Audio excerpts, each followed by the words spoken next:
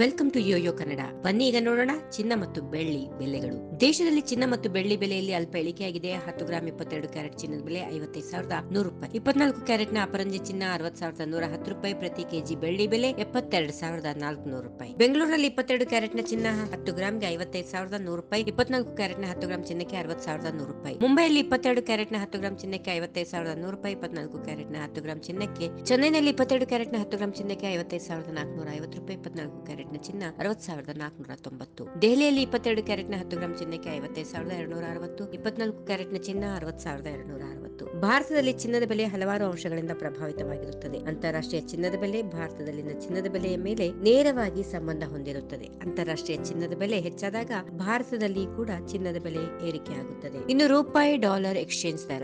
ರೂಪಾಯಿ dollar exchange ದರವು ಭಾರತದಲ್ಲಿ ಚಿನ್ನದ ಬೆಲೆಯ ಮೇಲೆ ಪರಿಣಾಮ ಬೀರುತ್ತೆ. ಡಾಲರ್ ಎದುರು ರೂಪಾಯಿ ದುರ್ಬಲವಾದಾಗ ಭಾರತದಲ್ಲಿ ಚಿನ್ನದ ಬೆಲೆ ಏರುತ್ತದೆ. ಬಡ್ಡಿ ದರಗಳು ಭಾರತದಲ್ಲಿ ಚಿನ್ನದ ಬೆಲೆ ಮೇಲೆ ನೇರವಾದ ಪರಿಣಾಮ ಬೀರುತ್ತವೆ. ಬಡ್ಡಿ ದರಗಳು ಏರಿಕೆಯಾದಾಗ ಚಿನ್ನದ ಬೆಲೆ ಕುಸಿಯುತ್ತದೆ. ಇನ್ನು ಹಣದ ಒಬ್ಬರು ಕೂಡ. ಹಣದ ಒಬ್ಬರು ಭಾರತದಲ್ಲಿ ಚಿನ್ನದ ಬೆಲೆ ಮೇಲೆ ನೇರ ಪರಿಣಾಮ ಬೀರೋದ್ರಿಂದ ಹಣದ ಒಬ್ಬರ ಹೆಚ್ಚಾದಾಗ ಚಿನ್ನದ ಬೆಲೆ ಏರಿಕೆಯಾಗುತ್ತದೆ. ಈ ವಿಡಿಯೋ ನಿಮಗೆ ಇಷ್ಟವಾದಲ್ಲಿ ಲೈಕ್ ಮಾಡಿ, ಶೇರ್ ಮಾಡಿ, ಸಬ್ಸ್ಕ್ರೈಬ್ ಮಾಡಿ.